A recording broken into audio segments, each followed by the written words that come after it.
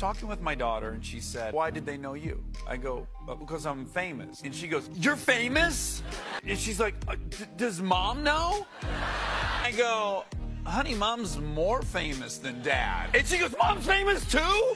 He Five. said, but where do babies come from? And we were both like, Real okay, talk? real talk. We went through the anatomy. We get right to the action. Right to the good part. And she's like, okay, I gotta go outside. When it got to the actual nuts and bolts of the operation. Right. He bored her to death. Yeah. Yeah. Get into like deep discussions with your kids? Yes, sometimes it comes so fast though. Like the other day, I got, Is Santa Claus real? Who made dogs? And why is Earth? Again, I'm like winging the parenting thing, so I was like, Does anyone want to go in the pool? I sing them uh, uh, Wheels on the Bus. Everything's good. They're going to sleep. I bend down, wham, straight into the bridge of my nose. I let a couple mother rip. Two days later, Kristen's walking down the hallway, and Lincoln's in her room trying to get a sweatshirt off, and her arms are all bound up in it, and she goes, Ow!